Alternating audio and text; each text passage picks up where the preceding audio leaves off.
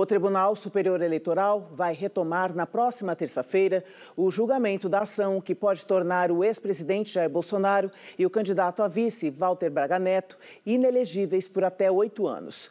Os advogados apresentaram os argumentos ontem. O advogado de Bolsonaro argumentou que os fatos que geraram a ação são anteriores à eleição.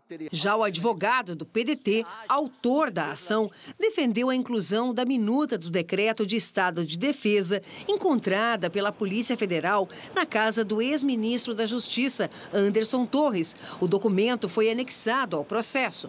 A minuta de golpe não é o creme de la creme. Ela é apenas o ápice vergonhoso do menosprezo à coisa pública. Isso não é desdobramento de uma reunião com embaixadores, com todo respeito.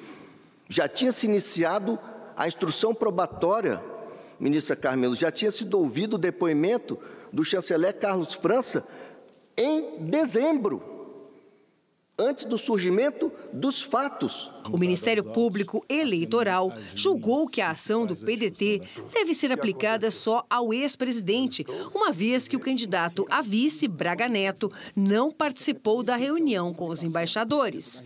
A reunião aconteceu exclusivamente para que fossem ouvidas palavras de desconfiança e descrédito com relação ao sistema eleitoral gerido pelo Tribunal Superior Eleitoral, com sugestões ainda desmerecedoras lançadas a integrantes da Corte. Enquanto o julgamento acontecia em Brasília, o ex-presidente réu na ação chegava ao Rio Grande do Sul, onde foi recebido por apoiadores no aeroporto Salgado Filho. Depois, participou de uma feira de transporte e logística e criticou o julgamento no TSE. É politiqueiro.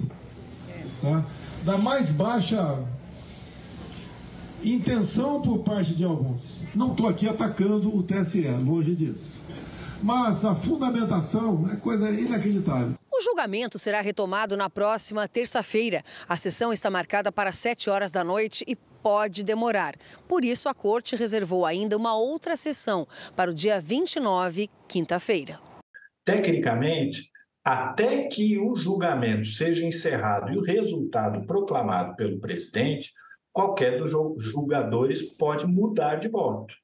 É, a sessão, esse convencimento dos julgadores vai depender também dos argumentos que os outros julgadores trouxerem.